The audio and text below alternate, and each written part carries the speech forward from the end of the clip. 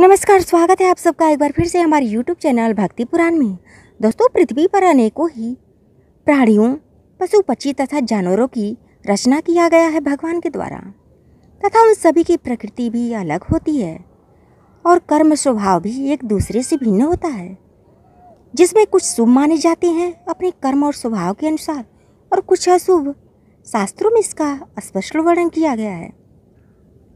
कुछ जानवर इसमें ऐसे होती हैं जिनका रास्ता काट देना शुभ नहीं माना जाता है यह सर्वथा अशुभ ही होता है। जैसे कि बिल्ली। बिल्ली यदि आपका रास्ता काट दे तो इसे हल्के में या नज़रअंदाज बिल्कुल भी ना करें। परंतु इसका मतलब यह भी नहीं है कि आप किसी महत्वपूर्ण कार्य से जा रहे हैं तो आप उसे छोड़ दें और घर वापस आ जाएँ। ऐसा भी बिल्कुल भी ना करें। करना बस इतना है कि जब भी आपका रास्ता बिल्ली काटती तो आपको थोड़ा इंतज़ार करना है कि कोई अन्य व्यक्ति आपसे आगे चला जाए।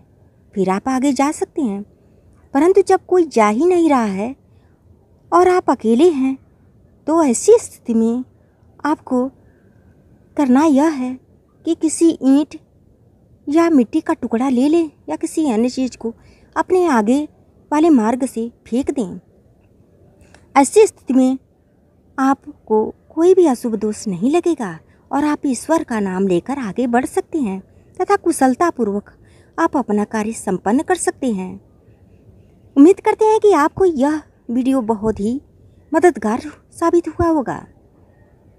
तो लाइक कर दीजिए और सब्सक्राइब कर दीजिए। और मिलते हैं अगली वीडियो में किसी अन्य जानकारी के साथ। तब तक के लिए धन्यवाद।